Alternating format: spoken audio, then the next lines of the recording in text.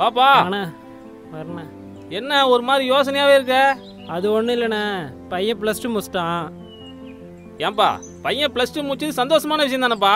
அதான் அண்ணா உன் பையனு தானே ப்ளஸ் டூ முடிச்சிட்டான்? ஆமா. எங்கே சேர்த்துருக்கீங்க? நமக்கு அந்த கவலையே இல்லப்பா.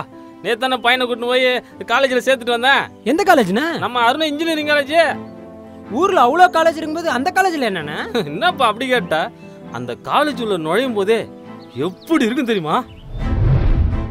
பெரிய பெரிய பில்டிங்கு பச்சை பசேல்னு மரங்க சுத்தமான காத்து சுகாதாரமான சுற்றுச்சூழல் இப்படி நிறைய இருக்குப்பா.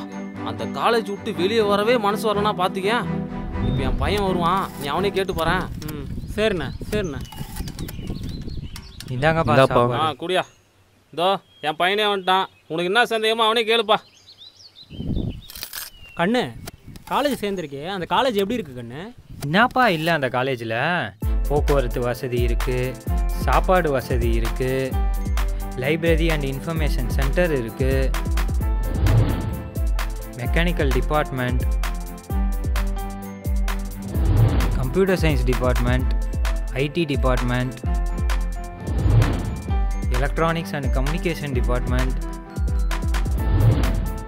electrical and electronics department அது மட்டும் இல்லாமல் தனித்தனியாக லேப் வசதி இருக்குது biotechnology department well experience staffs அப்புறம் எம்இ அண்ட் எம்பிஏ கூட இருக்குது வேற என்னப்பா வேணும்? ரொம்ப நல்ல காலேஜ்ப்பா அப்படியே கண்ணு?